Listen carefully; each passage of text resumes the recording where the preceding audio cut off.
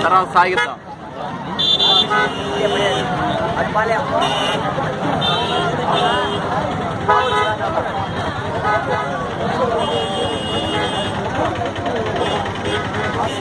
ఈ వీడియో నచ్చితే ఓ లైక్ కొట్టండి. లేకపోతే కామెంట్ చేయండి.